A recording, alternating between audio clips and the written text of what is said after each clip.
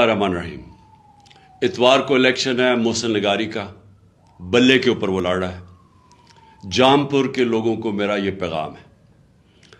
आपने ये जो खौफ की फिजा फैला रहा है, ये पीडीएम का जो जो नुमाइंदा है न्यूट्रल्स जिसके साथ मिले हुए हैं और जो नामालूम अफराद हिरासा खौफ फैला रहे हैं लोगों पे।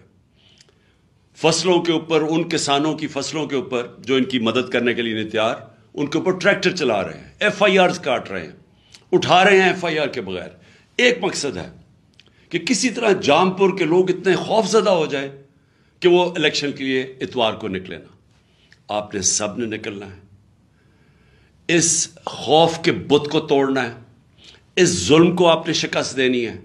और जितनी तादाद में आप निकलेंगे इनशाला इनके हर हरबे, धांधली के भी बावजूद इनशाला मोहसिन लगारी जीतेगा।